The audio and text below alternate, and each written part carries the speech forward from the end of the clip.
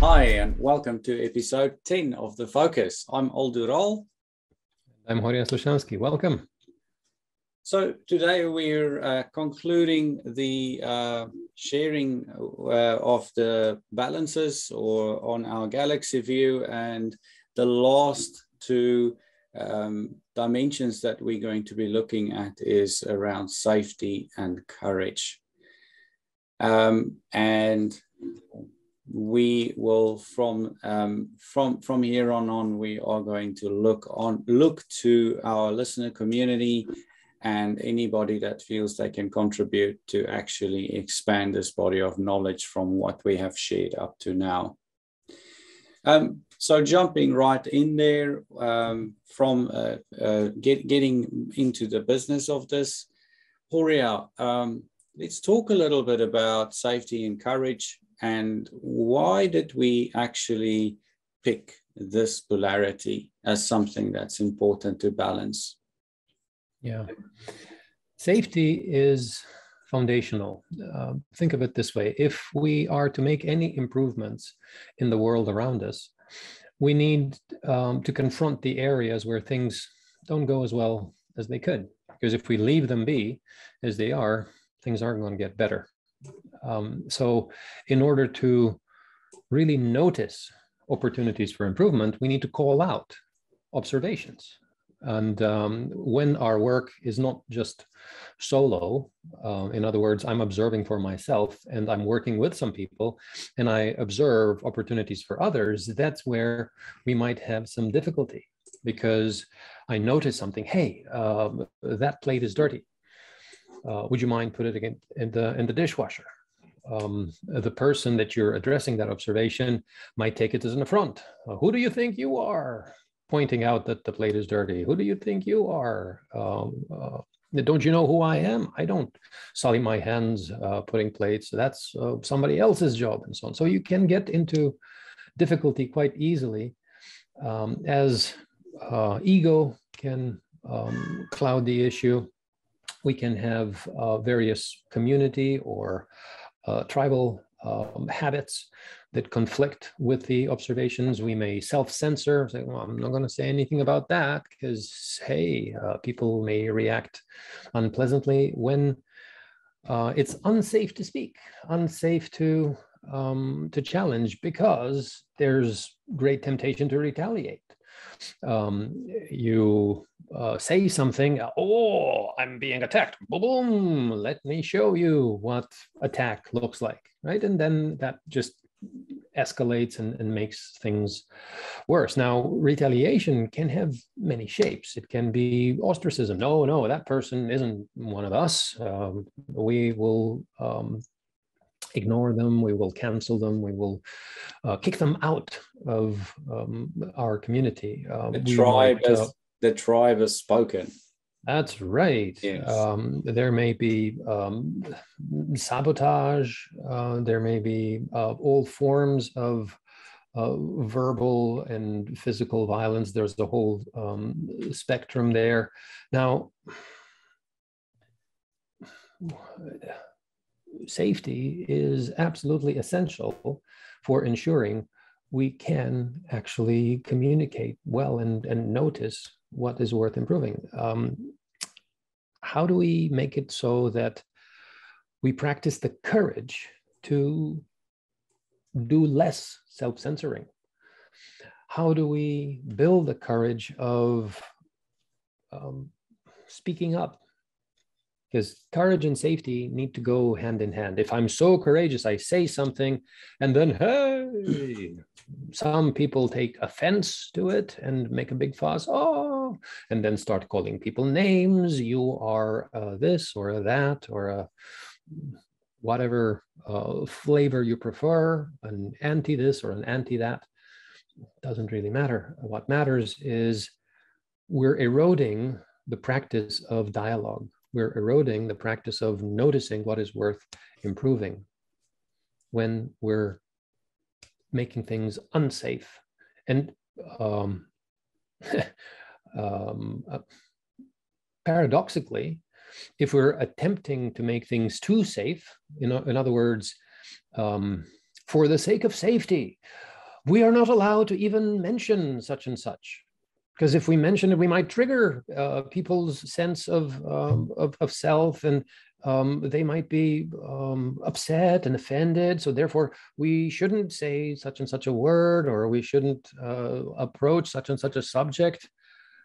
Uh, whoops, we have difficulties. And already we see in the culture around us all sorts of special words that only some people can say and others cannot, uh, some special topics that some people can address and others cannot, uh, and uh, certain uh, topics that um, unfortunately many um, people now are almost um, through legislation being forced into um, embracing or adopting. It's, it's very, very fascinating. So, how do we get balance and courage? So some of that includes uh, what you've alluded to, uh, includes censorship. Um, mm. That just closes down any um, transparency and debate um, on on topical issues uh, of the day. Um, so we've seen quite a lot of that.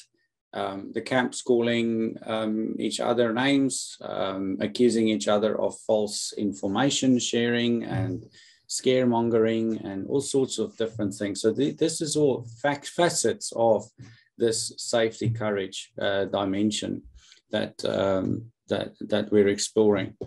One of the uh, examples that I've seen this in action. Um, I have helped an organization that um, works um, like a semi-military um, organization. It's not the New Zealand military. I have to just say that. But I've worked with an organization that um, uh, it became very apparent that the people with the higher ranks in the room did not really provide safety um, for the lower ranks in the room when certain issues had to be discussed.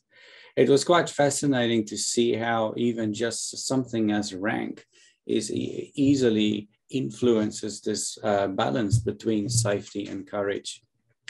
Um, and when do people do have when people had the, the courage to speak up on certain things um, i saw all sorts of interesting behaviors um, from the higher ranking um, people in in that situation it was fascinating to observe and i'm sure that it's not necessarily just in semi-militaristic organizations you get aspects of this in, in many different uh, types of hierarchies uh, in, in organizations. Um, Horia, any war stories uh, that you can just share without naming names, of course, um, that, that you've seen this uh, at play? Well, um, let me uh, give an example of, um, of safety done well. So um, in a large um, organization, well, by New Zealand standards anyway, um, the executive leadership didn't do a particularly um, effective job. And therefore, the board of directors essentially released the executives from their contracts and brought in new um, specialists. And some of these new specialists had a really deep understanding of lean and agile ways of thinking and embraced those habits and practiced them really well. And as a result, um, they uh, could then actively invite challenge to their perspective. So they invited um, a, a, range of, of really um, world-class change agents and, and facilitators.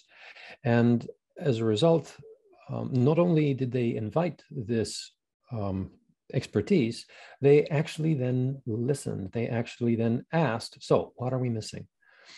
Um, we're planning on doing this, this, and this. Um, how can we make this better? What do you think? Yeah. So rather than uh, dictating and saying it must be done this way, it will be this, they had the wisdom and the humility to say, look, here's what we want to have happen. What do you think we're missing? How can we make this even better? So when you have this blend of insight and say, you know what, this is not a solo gig. It's not about me, the glorious leader, to set the path and make sure that everybody does what I tell them to. I can actually engage the community that uh, I have in my care to define what is achievable, what is doable, then we can actually uh, get somewhere. So then you have people that um, some of their colleagues that weren't quite sold on this approach gradually made a, a transition by noticing the impact and the effectiveness that this brings. And you have people saying to you then, wow, you know what, it looks like you're my conscience. Because you help people to stop doing things that previously they know nah, they shouldn't have been doing that. But now that you see a new and different and better way of doing it, you go, you know what? I don't have to betray myself. I don't have to sell my soul anymore. I can actually do better. I can be courageous and push back and say, you know what? No, we're not doing that. We're doing this. And mm. hey, not only doing that is better for the organization, it's better for yourself, it's better for everybody involved. So that when you have this balance of, of courage and safety done well, you get really impactful uh, changes. There seems to be quite a strong undertone of the example that you've shared from intent-based leadership uh, mm. uh, uh principles and, and practices uh, out there. But we'll cover some of that a little bit later. Um, jumping straight into uh, just to remind you how we're going to step through this is first of all, we are going to look at what are the downsides of having uh, of, of uh, safety. So what are the current struggle patterns when we over focus on just safety? Then we'll go to the desired outcomes of courage. So what are the benefits? Um, what are the positive results from the from having courage in your context. Then we'll go to look at what are the downsides when we overcorrect on, on courage or whether we what the negative results may be when we overfocus on courage. Then we'll focus on what's the benefits to be retained from um, safety. What's the positive results from having that uh, uh, consideration. Then at number five there, we'll look at what are the overall purpose. What does life look like when we've got balance between courage and safety in, in your context? And then we'll look at what's the double down? What's the, the deepest fears that both sides of this polarity is trying to avoid?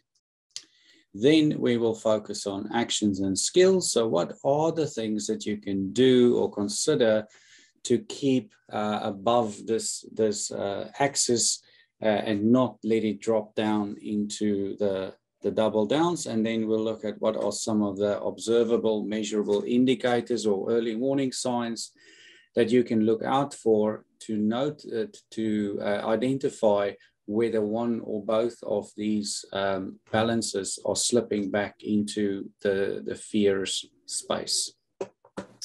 And I'm going to jump straight into the first one.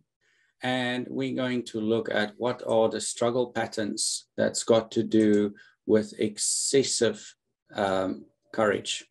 So, uh, excessive safety, sorry about that. Or um, what are the, the downside on safety? So, um, we all have heard, or if you have not, there's quite a lot written um, about psychological safety especially after it's been published by the uh, Google research on the Aristotle project. Um, but there's quite a lot of new thinking in, term, in the psychological safety space. But the first thing that uh, we that we see are um, behaviors that contributes to an unsafe culture. So we'll see bullying, passive aggressiveness. We'll see um, uh, dissenters being ostracized. So really not be, people not feeling safe to speak up and speak their mind. And sometimes a really good place to pick that up is listening to what's being said in retrospectives. Sometimes what's not being said is, is actually speaks a lot louder than what is actually being said. when you listen to and, and, and sit in on retrospectives. There may be uh, uh, elements of backstabbing, um, uh, Game of Thrones type, Hunger Games, Survivor type mentality. Um, I have seen one or two projects that um, that does operate like that in my career, and I must say I not, don't look back on it with fondness. You'll see lots of blame, uh, blame personship, etc. So these are all types of behaviors that um, builds an unsafe culture. What we also noticed uh, with the panel is, is that the certain misbehaviors are enabled. So if you think in terms of how people are incentivized, for instance, um, they are incentivized to display a specific behavior that's harmful to the organization or to uh, people that's not so powerful in the organization. Um, you'll see also um, there's no or very little whistleblowing or when it when it gets to uh, a, a, type of situation like that, shooting the messenger. Um, this organizational amnesia is something that you must probably smile about because it's like we came up with this wonderful idea and then uh, six months later we came up with the same wonderful idea. Um, it's like or you forgot um, the lessons that you've learned in the past um, because it wasn't safe to remember or even remind others of the lessons that we have learned about things. Look at um, uh, liberal, uh, too, too, much uh, liberal liberalism um, uh, uh, in decision making. Um, there are things like um, rumors being spread. Um, so have a look at what are the types of misbehaviors that is enabled with the absence of safety. There's also a sense of numbness um, to look out for. Um, there's and no pressure when you don't deliver. There's no consequences of non for non-delivery. Um, I have worked in an organization um, for a while, and it was pretty obvious that whether people did or didn't, there was no consequences. So very little things actually got done on the taxpayer's uh, dime, and um, it was really just numb. Walking in, doing, being there all day, it just numbs. It's uh, it's quite interesting. The other side of numbness has also got to do with exhaustion from change or change fatigue. Um, it's too there's too much happening and it's not paced, so people are just totally numb. They've they've resigned uh, inwardly and just plod on. They just going going on and just going through the motions as well. And there's a note there: the larger the mortgage, the quieter they are. So those who've got the most to lose would tend to be afraid to speak up. So for as an agile coach, when you're actually working in uh, working for an organization and as an internal employee, sometimes there is a blocker that you potentially may have to deal with in your own coaching by not by not being willing or able to call out things. Look out for those closed fixed mindsets uh, those aversion to risk, um, their uh, uh, psychopaths rise in management. This is not to say that all managers are psychopaths, but we do see in certain types of organizations, especially when you look at the uh, Laloux model, the, the ones uh, moving towards the red uh, type organizations usually have a higher incidence of psychopaths. Um, Again, just a disclaimer, not all managers are psychopaths, just um, please um, quote me on that. Um, okay. Uh, also, um, uh, a, a, fear of learning, uh, that's part of this fixed mindset or closed mindset. There's also a, uh, lot of things associated with triggers. Um, and any incident can trigger people in, in different ways. And when it's an unsafe environment, look out what the triggers does uh, in uh, for, for different people. Some may just jump immediately to panic and then blame others. Um, uh, look out there for red language. Um, what we mean by that is just work, work, work, work language and no language or intention to stand back and look at the big picture and look what's going on in order to see um, what could be cause and effects up and down a value stream, for instance. Um, you'll also notice that the oversight functions specifically tend to operate in panic mode mostly. Um, and that, that's another sign of uh, safety in that environment not being a high priority. Um, look at the when you uh, get people to move out of the comfort zones that they're in, um, look a little bit about how they behave when they're outside those comfort zones. It will tell you quite a lot about the safety in that um, organization. Look out for blind spots that's either not acknowledged or people just stick their head in the sand, ignore it, pretend it's not there. Um, so there's lots of that types of things going on as well when it comes to low safety. And I'm pretty sure that we may have missed some things. Uh, by all means, uh, contact us, uh, come talk to us about what, what, what else do we, can we add here? Have you got some good stories about this? Come share it with us. Now that we've looked at the downside of safety, let's have a look at what are the benefits? What are the desired outcomes when we look at having courageous people? Horia. Mm. When we practice courage effectively, it means that we're pushing the boundaries of communication to a point where we're changing our perspective. If I say something courageous, that is intended to create safety. Why? Because if I keep quiet and I'm not speaking up with courage, something undesirable is going to happen. Whereas if I muster the courage, if I overcome my fear and I speak up, I speak up with the intention of making things better, of making things safer.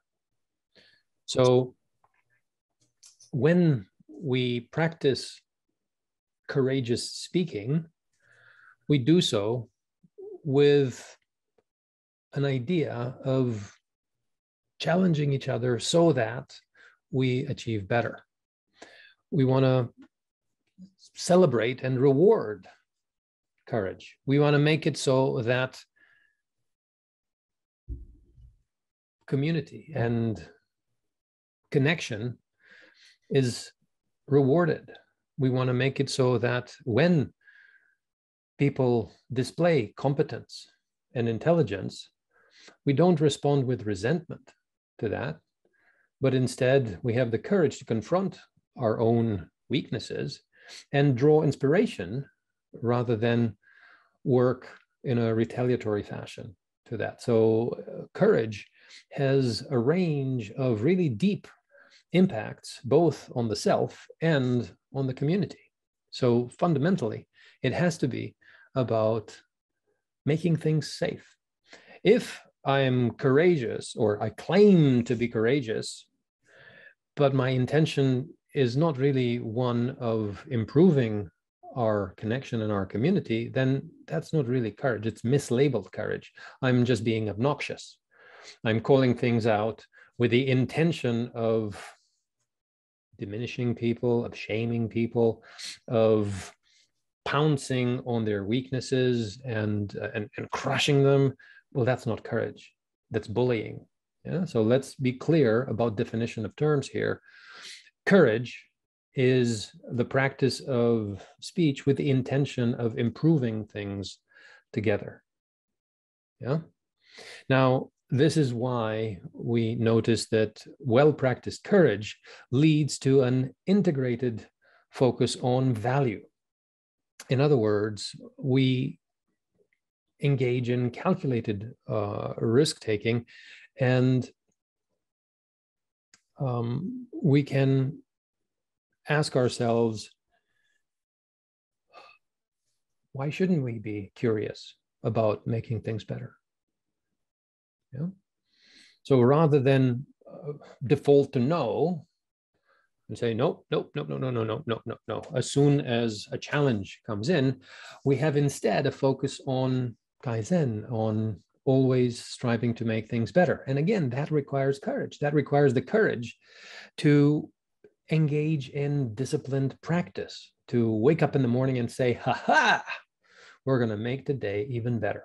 But that requires effort. That requires discipline.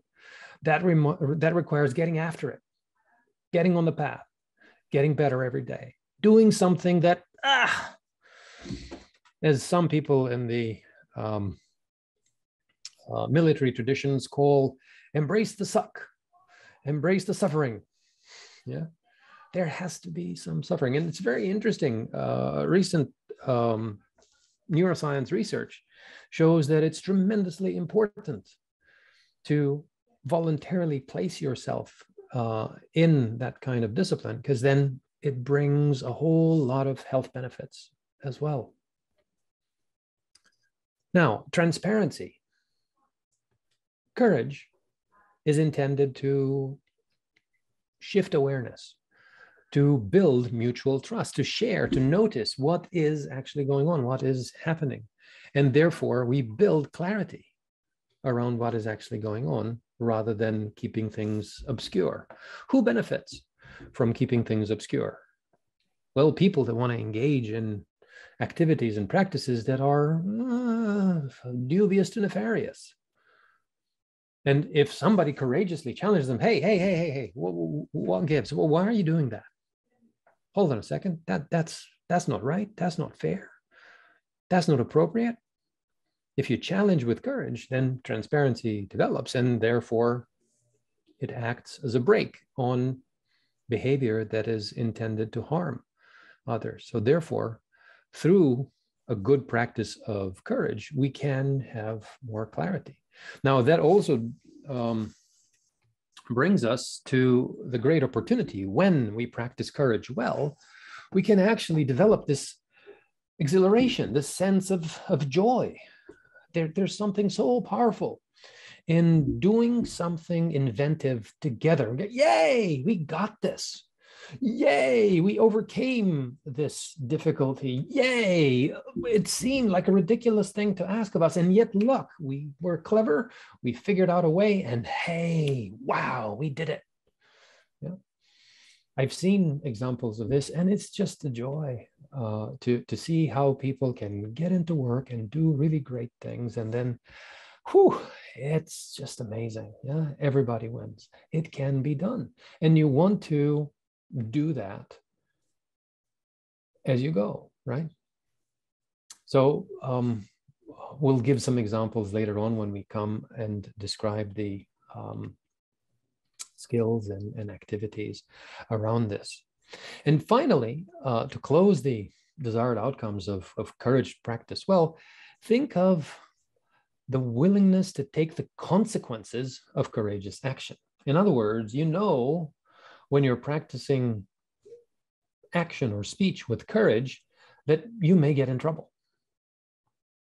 Yeah, because otherwise, where's the courage? Yeah, if there's no trepidation in speaking with courage, then it wasn't really courageous. It was just speech or action. Yeah. So therefore, courage requires a degree of, of risk a degree of personal risk, a degree of career risk, a degree of intellectual and moral risk. Yeah. And that's where trust is essential. And that's why courage needs to be balanced with, with safety. In other words, when somebody speaks with courage, if there's zero tolerance for courageous action, then we're in trouble. Because there's pretty soon nobody's going to dare practice any courage because things are unsafe. As soon as you've raised your head over the parapet and said something, smack.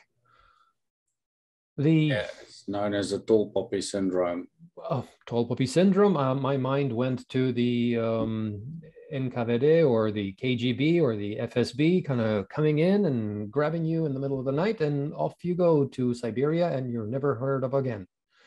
Yeah, that has happened and it still happens in some parts of the world, unfortunately. Um, when people courageously uh, protest, eh, it might have unsafe consequences.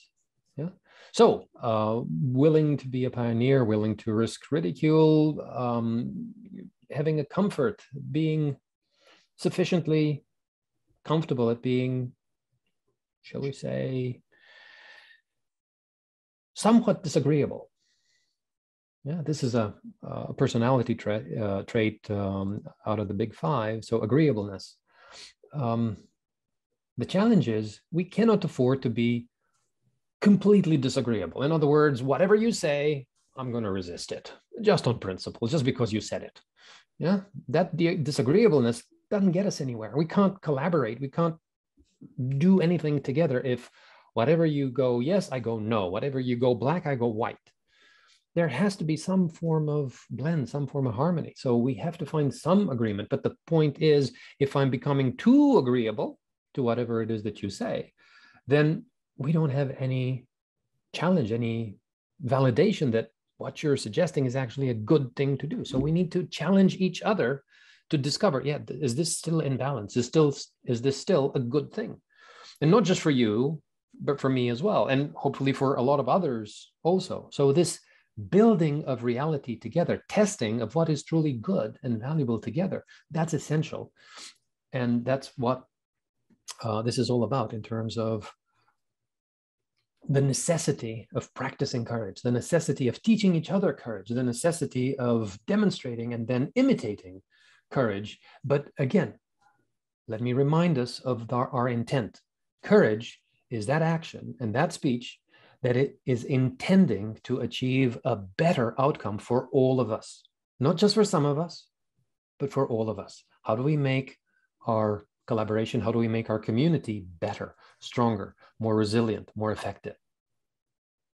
If it's not, then we may have some difficulty. That's not really courage, then, it's something else. So, what happens if we overcorrect and we go a little bit overboard with courage? So when we explored this, um, there were excessive courage or not enough courage. Um, that that's quite um, visible there. Um, but with that comes a lot of toxic behaviors um, also. So people may sometimes interpret some of these behaviors um, as courageous, but it's actually not.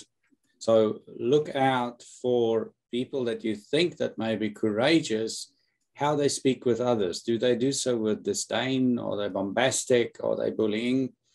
Um, so look out for cynicism um, or extreme cynicism. Look out for psychopathy and narcissism. So um, when people mislabel courage, uh, it you can you can observe that in the toxic behaviors.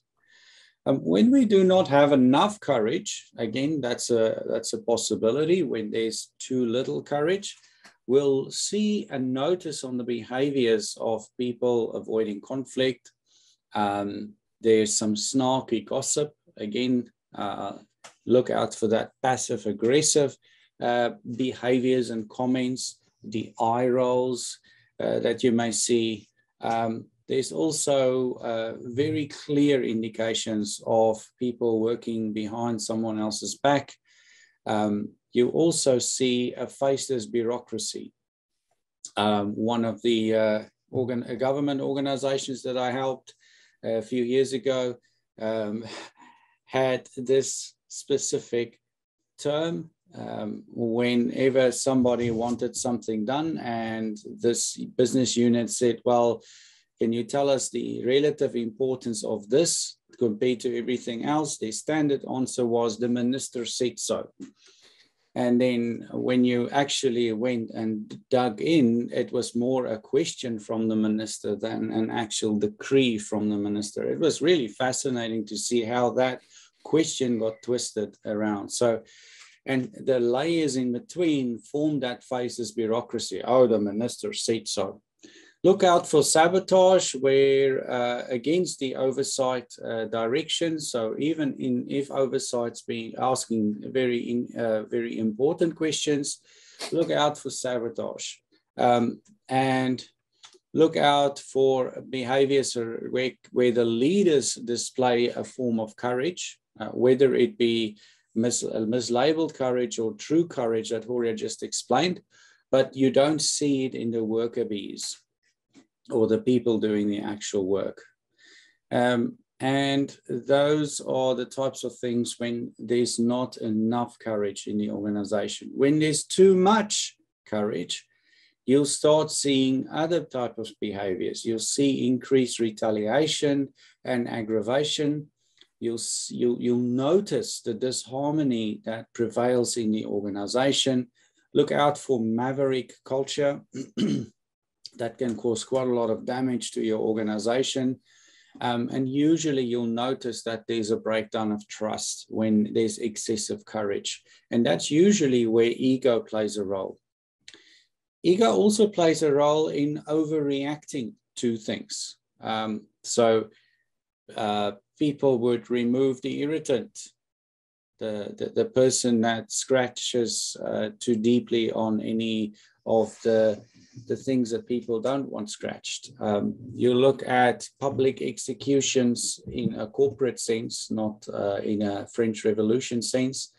Um, you'll, you'll notice that people would be hung out to dry, and that is shooting the messenger, etc. So trust is replaced with control in these instances. Um, people would try and assert more control because they feel that doing that, um, it will uh, give them uh, a little bit more power for them. Then look out for anti-patterns around change. So when courage is pretty low, there's typical anti-patterns that support that uh, low courage inside that organization. So look out for uh, heroes and the, the cult of the hero in your organization. That's a real sign. So the hero may display some courageous behaviors and get away with it, but it could very quickly turn into toxic behaviors or excessive cover, uh, courage as well. Um, look at falling professional standards. Um, very simple thing to look at here that I've always go look at is how well does the definition of ready and done, how well is it adhered to? And is it done so consistently? And that's a dead giveaway that these standards are slipping. So that's another anti-pattern to potentially look at. Look out for burnout, um, people making mistake because they're tired um, it happens. You, you, you notice people work for months and months, 12 hour days, weekends, uh, their families suffer from it, and then they start making increased mistakes. You'll notice that as well.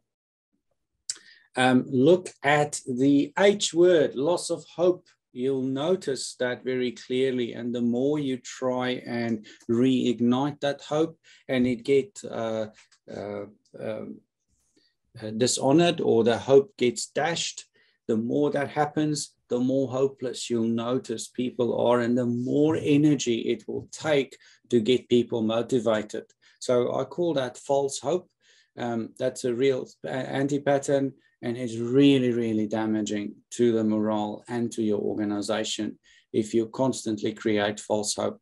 You're conditioning the people in such a way that they don't believe you anymore trust is lost when you say, we're going to do the next thing, and people are just going to go, oh, okay, well, yay. Anyway, so um, look out for those things. Um, there's quite a lot of anti patterns that's associated with change through the lens of courage. Now, let's look at what benefits do we retain when we have healthy, safe environment. Mm. And that is absolutely essential because with a safe foundation, we can have an integrated, shared, and harmonious purpose. In other words, it's safe to be yourself at work because what you care about is valued by the people around you. Why, what you want to do is valued by the people around you.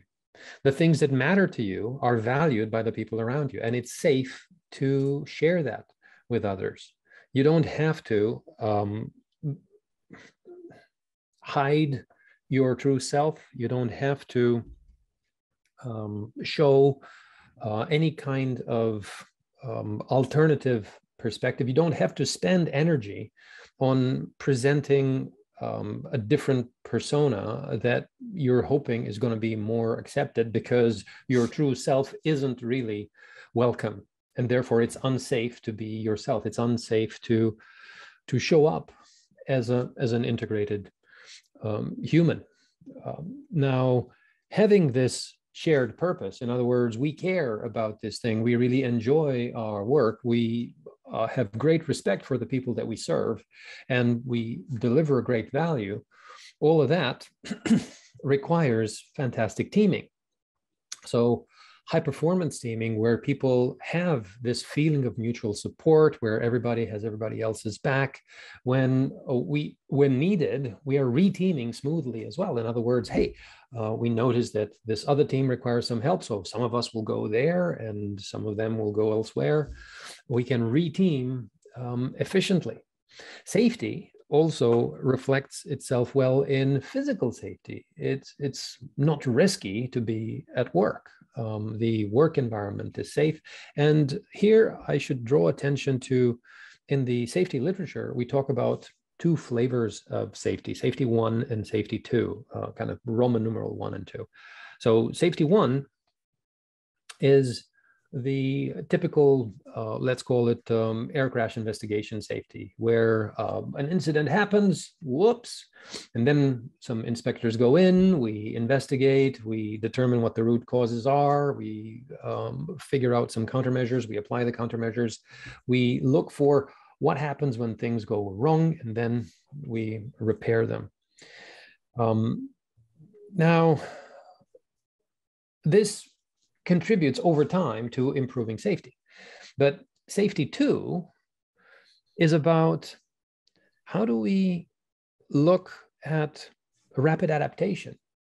And we learn about safety two, for instance, by looking at what happens when an unintended situation has happened and we notice how did people self-organize how do they react to cope with that yeah so safety two is much more about learning how to anticipate potential challenges and how to react and how to become anti-fragile over time so being accustomed with safety can promote better uh, physical safety as well now, I alluded already to, to trust and the necessity of trust. For having any kind of um, performance as a team, you need to be able to trust one another, right? You need to have it so that it's safe to disagree. Um, so when uh, we we practice safety well, we don't do so in a punitive fashion. We do so in a supportive fashion. We see the initiative and the oversight function as partners rather than enemies, right?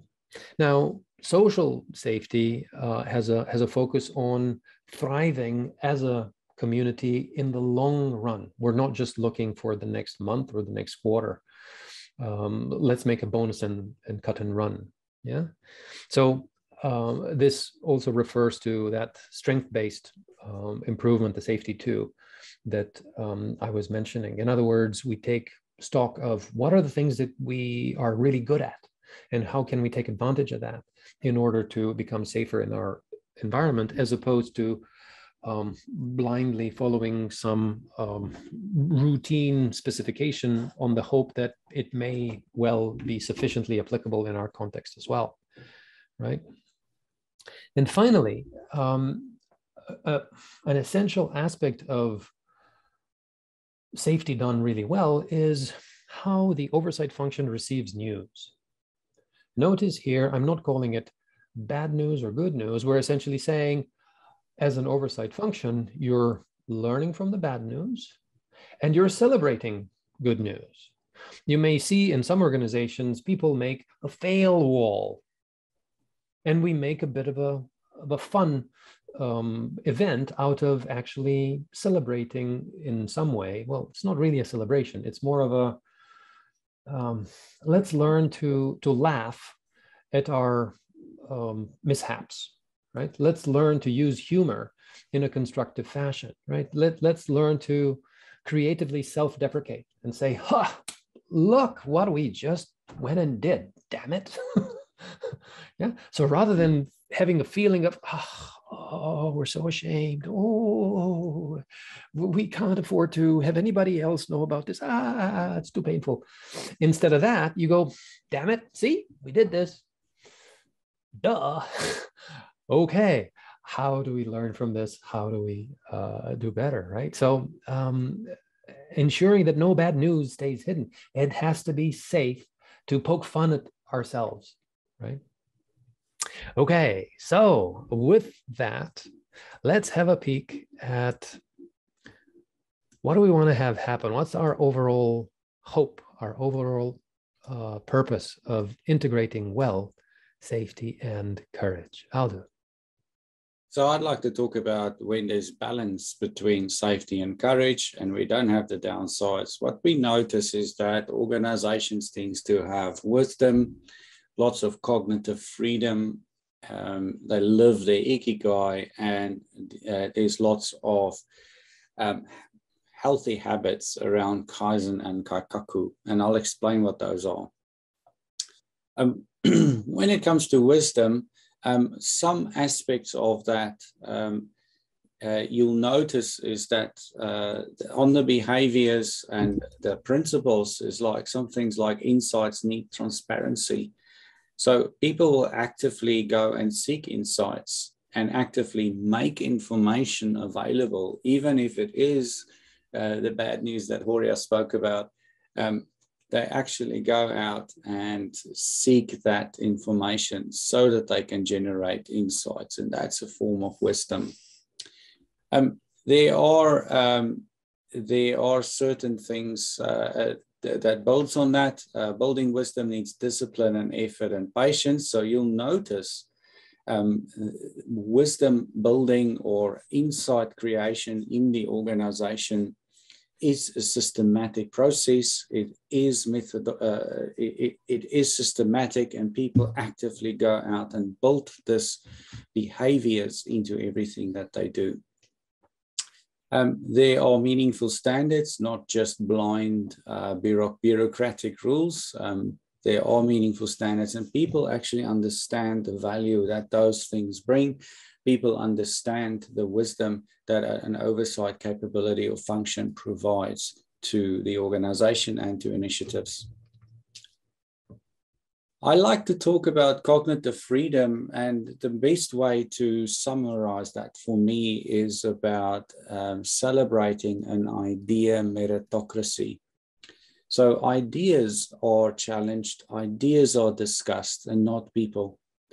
People don't have the reason to become defensive. So, there's that cognitive freedom um, where, uh, when it comes to uh, exploring new ideas or exploring change uh, and so on. So, and you'll see some parts of that as you're not leaving people behind. When you bring a change, you bring everybody along on the change and you don't do the change at them. Um, there is deep knowledge on how to deal with diversity in your organization and how change affects people in different ways. Um, you're looking for opportunities to unleash everyone's potential and people, you're very aware you do a risk analysis uh, of the consequences. You're very aware of the consequences if you make a change. Instead of just blindly doing so because some consultancy told you to do so um, You'll see a lot of grace around that. So Horia spoke about that again. When you make mistakes, it requires quite a lot of grace with yourself as well, um, and, and patience with yourself. to um, accept that you made a mistake. You're not as, as, as Superman as you thought you would be, uh, and so on. Um, next one is Ikigai, and Ikigai is that term that means that um, you're good at something that you're being paid for, that the society needs, and um, that's uh, that you love doing. That you love doing. And you'll see an organization living its ikigai. You'll see the people living their own ikigais inside that specific context. And um, there are uh, lots of uh, behaviors around that. Look at uh, focus on psychological flow and achieving meaning. So when you look at Maslow's hierarchy, what is the organization doing in for everybody in the organization to meet its self-actualization? Um, do really well what you love doing uh, that the world needs and then you can get paid for. That's an ikigai. Um, and maybe uh, look at uh, elements of entrepreneurship and catalyst behaviors uh, not only inside the organization, but perhaps into the industry as well. Now, Kaizen, we spoke about Kaizen before. That's basically, uh, and I know Horia is going to give me a look here. It's basically a continuous improvement, but Kaikaku is where Kaizen is about small incremental improvements. Kaikaku is about big shifts or a big improvement that can be quite disruptive. Now, it's really interesting to observe how organizations behave when there are big uh, changes or small changes happening.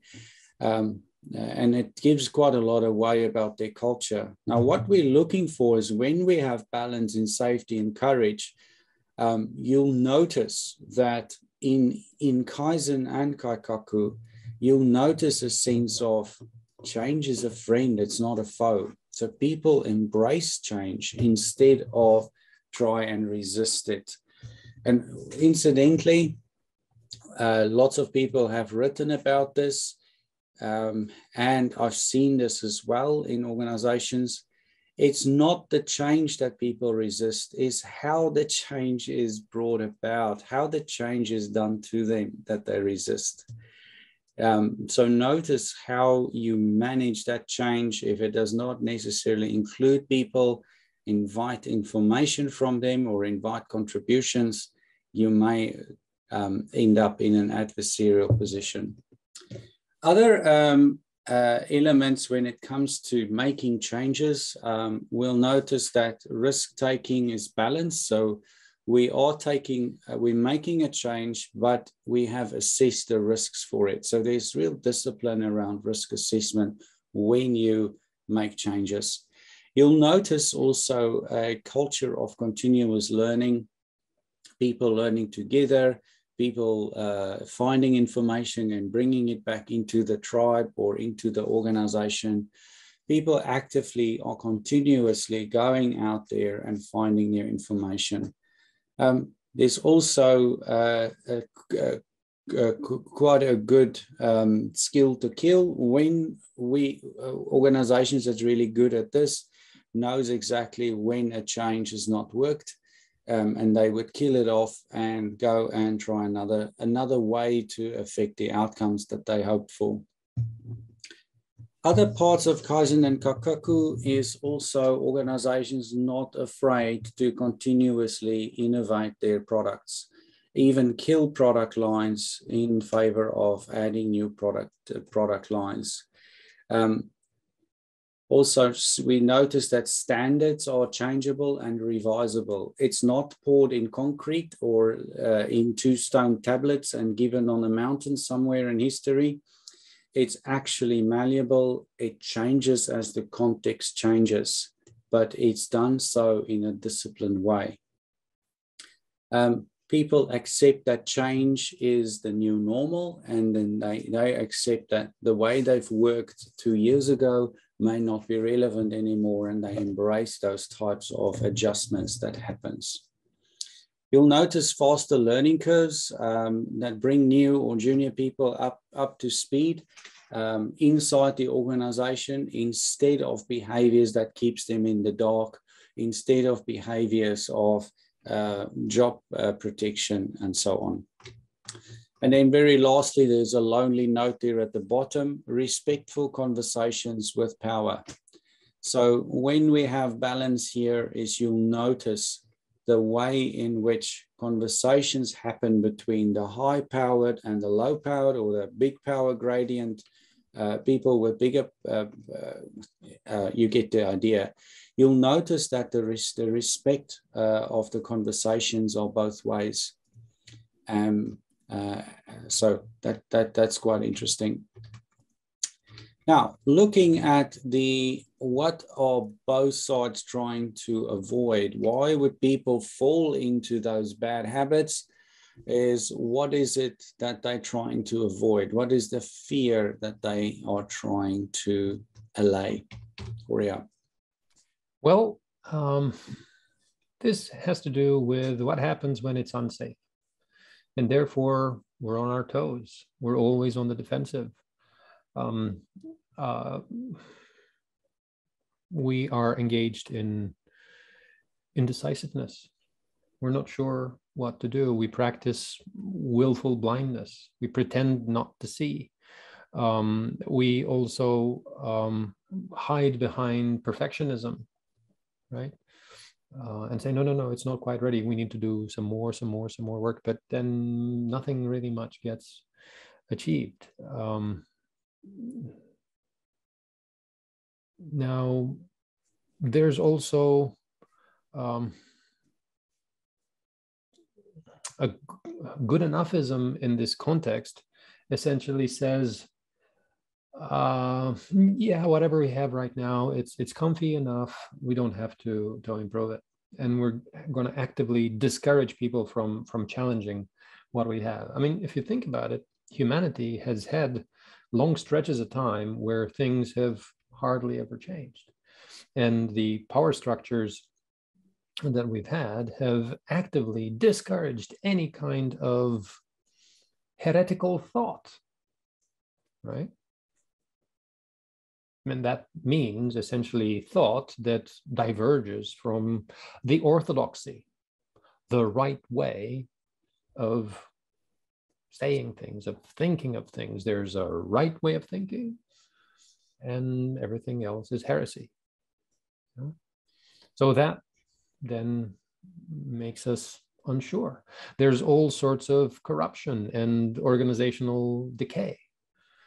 When we embrace dogma and we are intolerant of anything but the dogma, and there's a compliance police, and there's extremism and factionalism, and all sorts of self entitlement. And uh, we mentioned here second class hires third class meaning um, you're not really interested in um, good competence.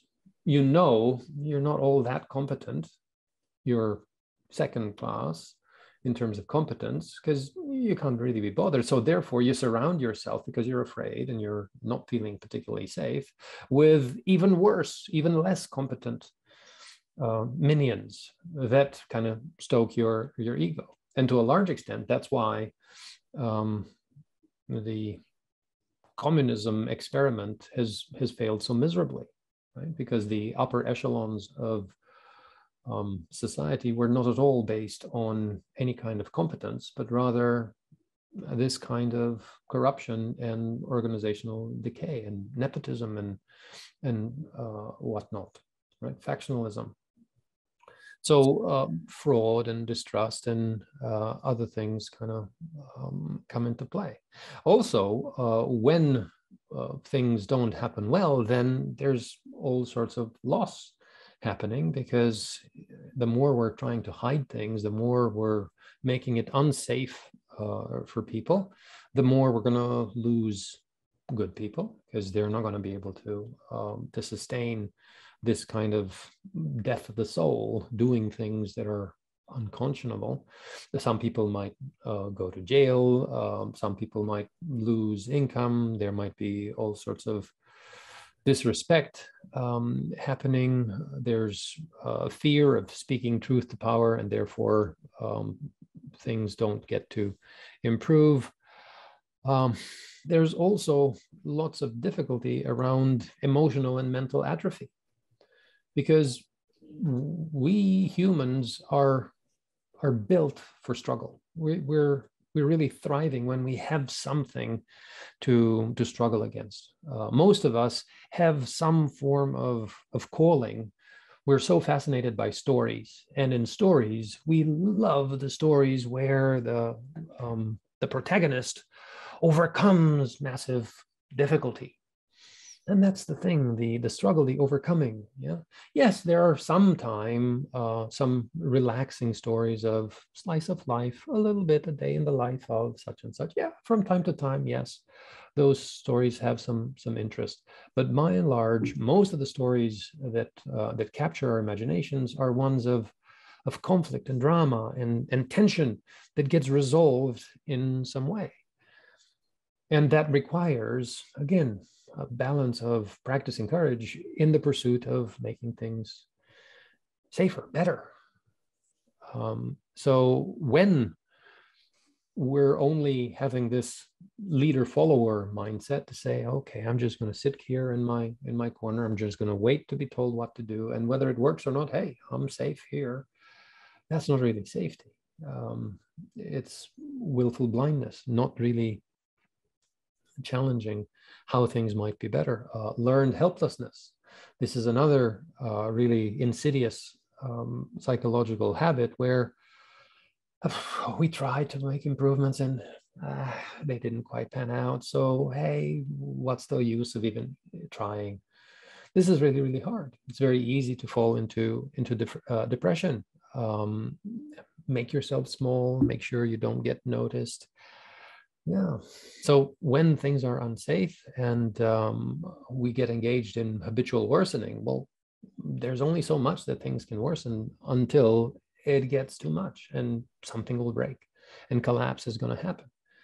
Now, such is the nature of um, humanity and society. There are cycles of renewal, birth, development, and then decay, corruption, and collapse.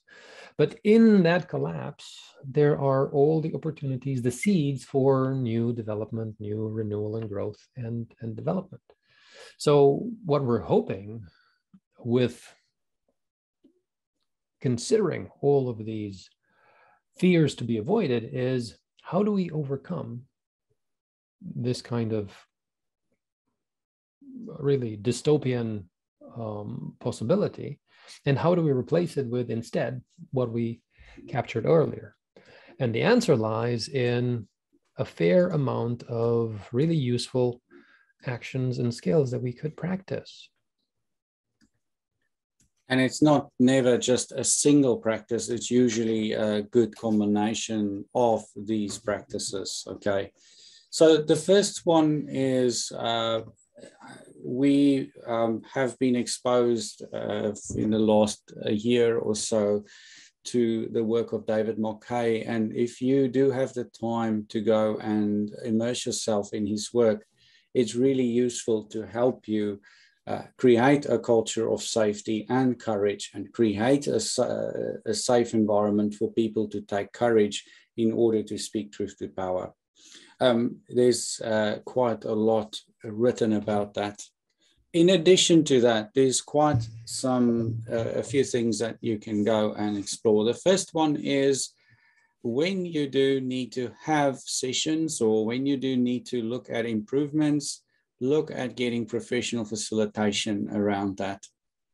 Um, you'll notice that good facilitators are the ones that deliberately work uh, divergence and convergence and they will uh, around ideas if you don't know what convergence divergence and convergence is, when you have a conversation you try uh, to divert as much as possible to get as many ideas as possible. Once we feel we've exhausted that, a good facilitator would know instinctively when to start converging it to a specific point to one or two choices that you could to uh, that you can do.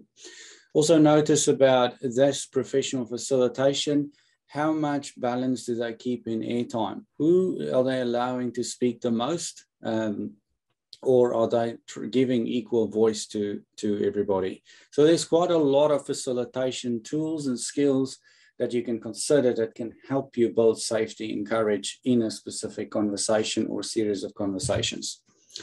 Look at having performance management in your organizations to actually support safety and courage or build, build that balance. Um, start using a different language, growth mindset. David Marquet is also a really big supporter of the type of language that you use. Notice how you ask questions. Notice um, how you uh, talk about uh, ideas and things. It's really uh, uh, uh an eye opener when you start to look at the implications of changing your language as a basis for changing some of the, the, the, the culture um, look at mentoring programs, look at building atomic habits. If you haven't heard about that, um, there's quite a lot of interesting uh, techniques in there that you can go and apply at your, your personal level as well as at the team level. Celebrate your learning. Um, and then keep focus on the value we create for our customers and not the, the people at head office. We're not working for the people at head office we're working for the customers that buys our products and services. Um, first, first class, highest first class, that's that uh, uh, the antithesis to what Horia spoke about in the previous bit, but it is really about building a high performing uh, or a, a, um, creating the opportunity for people to uh, um, be amongst other people that uh, challenges them in a positive way. Look for ways in which you can bring in discipline diffusion. Um, uh, there are uh, things like pair work, so you, you, you master skills and build trust through actually doing pair work, or mobbing uh, is another one, or as um, swarming is another one that you can go and think create opportunities for that to happen. Um, look at uh, if your leaders are, are uh, in there, look at letting them to recognize uh, to fly air cover for new or weaker uh, employees, or if there's employees with known weaknesses and other strengths, um, provide air cover for those types of things uh, from a leadership perspective invest in professional coaching. And this is not me selling my coaching skills or Horia's coaching skills. We do see the benefits of having professional coaching. There's quite a number of frameworks out there. The framework that I got qualified in was the results coaching framework from the Neuro Leadership Institute, and it's opened a whole new world for me when I studied it. Um, I did not know that you can have conversations in those ways. Um, it taught me quite a lot of skills to make it safe to explore the subjects and get out of the way of the person. It's their journey. Um, provide coaching training for leadership. Um, that's really a, a, good skill to have is to build coaching skills in your leadership or your, your management. We look at ideas for open dialogue. Uh, for promoting dialogue um, or to have dialogue in a safe and courageous way. Um, look at the work uh, around crucial conversations that was done. Look at the ladder of leadership, another David Marquet um, uh, uh, method or technique that you can use, which is quite useful.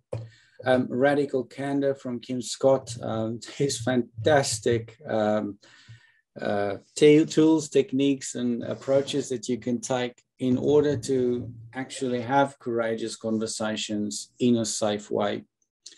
Um, build respect. Um, there is a, I intend to, uh, that's part of the ladder of leadership. Uh, and, and it's really a valuable skill set to go and look at what a ladder of leadership can give you for having really good dialogue cultivate experimentation. Um, I worked with a customer a number of years ago and didn't know that there was an allergic reaction to the word experiments.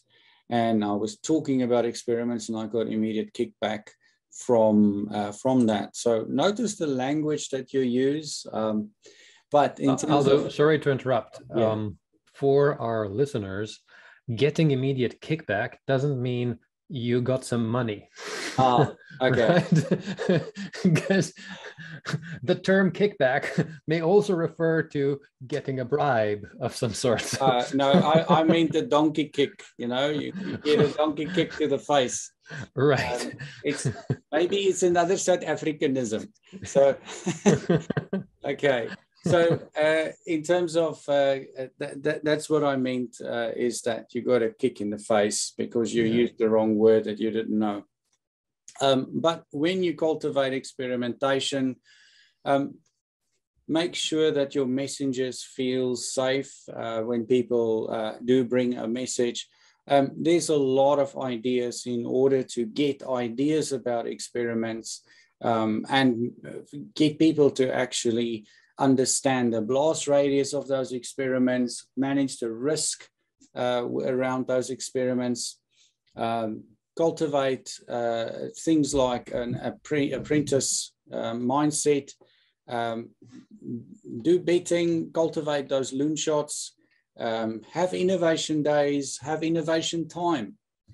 I had a customer that made it a rule that one day of every sprint, they are supposed to spend on that sprint um, on non-delivery work. And that could be work to improve their ways of working, i.e. Kaizen uh, work, or to go and explore new technology or new tools that they could potentially use in the con uh, concept. Uh, FedEx days, all sorts of things like that will supports this culture of cultivating experimentation. Um, then look at cultivating well-being in people, especially the ones that find it difficult to be courageous, or especially the ones that comes from a different culture, um, that uh, courage was not appreciated and they come into your culture. Um, give them uh, enough tools to cope with that change. Um, also make it fun. So um, look at, uh, see this supply Nerf guns. Um, so Nerf guns is a is a little gun that that shoots uh, uh, foam uh, foam bullets at, at other people, and but make it fun. Um, cultivate altruism, and then the same same sense punish narcissism. Yes, Horia uh, to describe the idea of Nerf guns and why Nerf guns are a good idea, right? We're, we're not suggesting that we promote violence. We're simply suggesting uh, that we practice the courage to shoot down bullshit. Uh, that's how I've used the, the Nerf gun. I supplied a product owner with, uh, with a Nerf gun and instructed her, uh, as soon as people start to give you bullshit, shoot them. right? And very rapidly, the, the level of bullshit rapidly decreased in that team, and the level of, of fun and, and professionalism and really genuine achievement skyrocketed. So, um, this is an example where this simulacrum of violence led to dramatic improvement. So, we were courageous enough to say, you know what? No, we're not going to tolerate this anymore. And it was safe, and people didn't feel offended or oh, somehow um, um, aggravated by engaging in this play. Very good. Thanks for um, for that as well, Horia. Um, okay.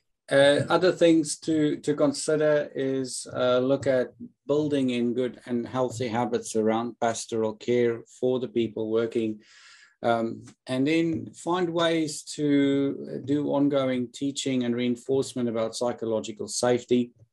And very important, leave egos at the door. Check your ego here. Um, check your ego in here. Now, those are quite a lot of ideas. Um, when you look at the actual video, there it's it's on there. You can take a screenshot probably of that. Um, but there's quite a lot of ideas in which you can go and create balance in safety and courage in your context. Let's look at what are the warning signs we need to look out for when safety and courage becomes imbalanced. Horia. Right.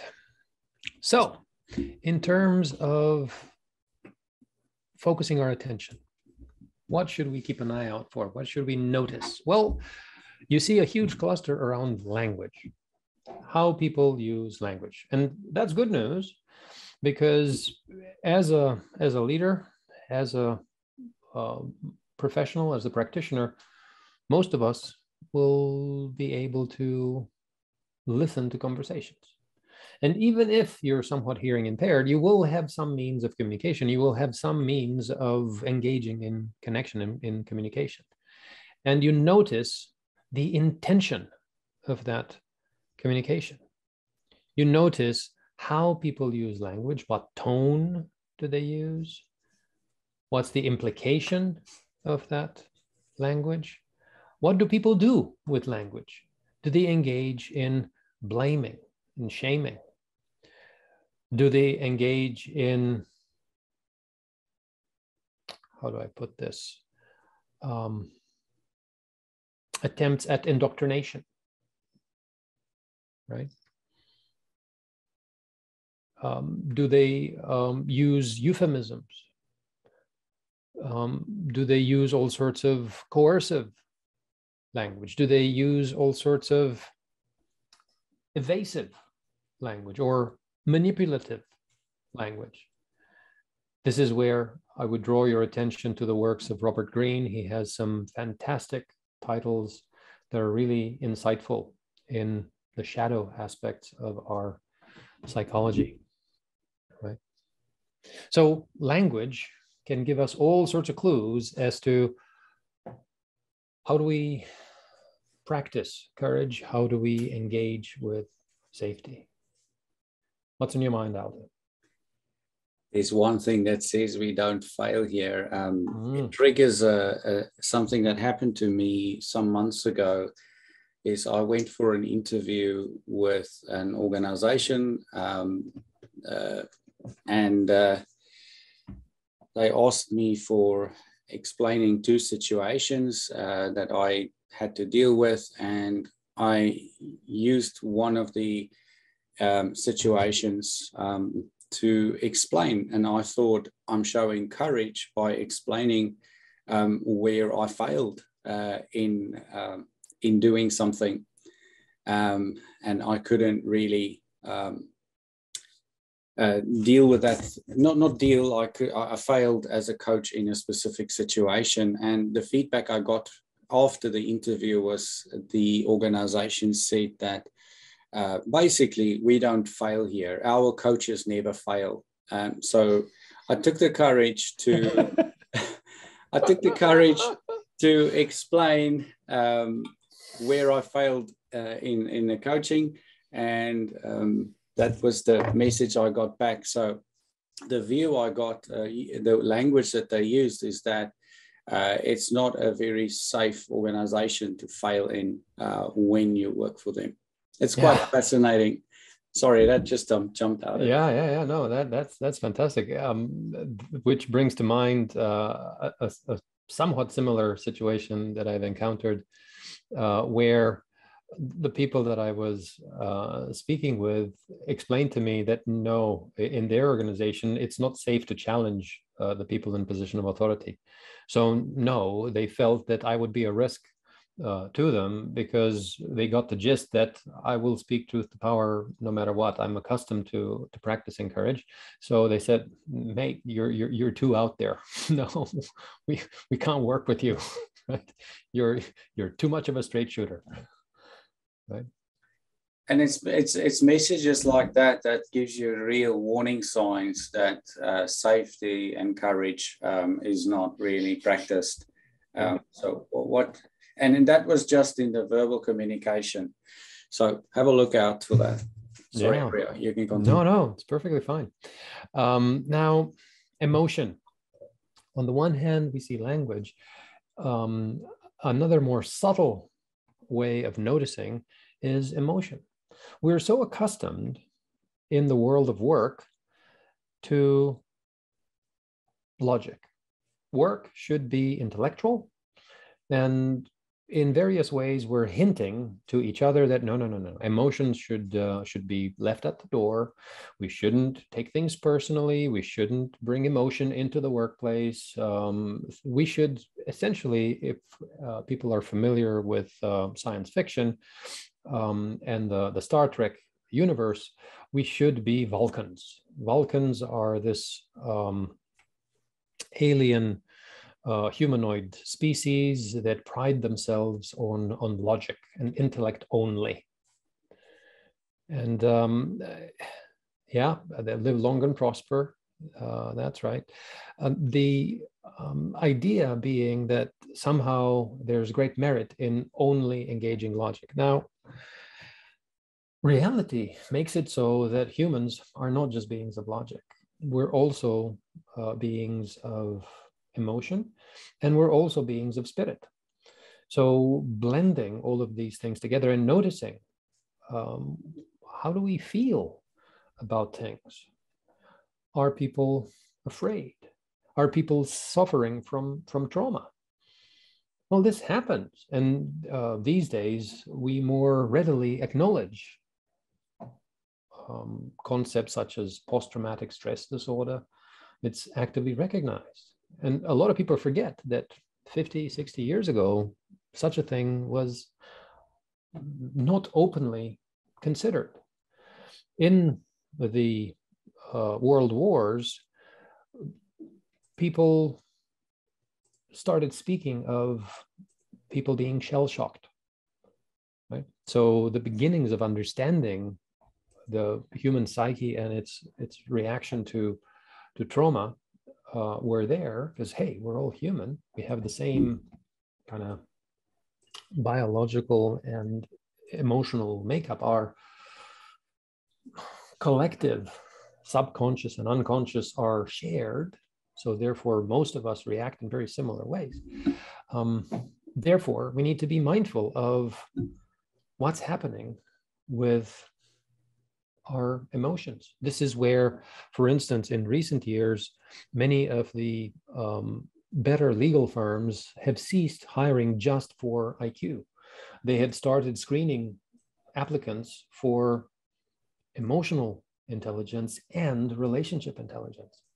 In other words, you don't just want somebody who is clever, you want somebody that is intellectually clever, but also is a person that reads emotions in others and can connect well with others and form good social bonds, as opposed to alienating everybody by displaying behaviors that are careless of others' emotions, right? So you want to be able to form rapport, you want to be able to develop good connection with people. Hey, you need to notice emotion and manage emotion in yourself and in relation to, to others, right?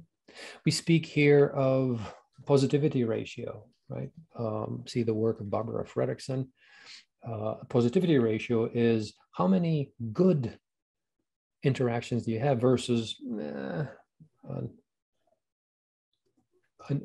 an, unpleasant or negative um, action. Yeah. So what you want to have for your organization to thrive, Barbara's research suggests that a positivity ratio of three to one or better tends to indicate really uh, good likelihood of the organization thriving. Otherwise, we may have various degrees of struggle. Now, uh, understanding also how to practice neutrality, right?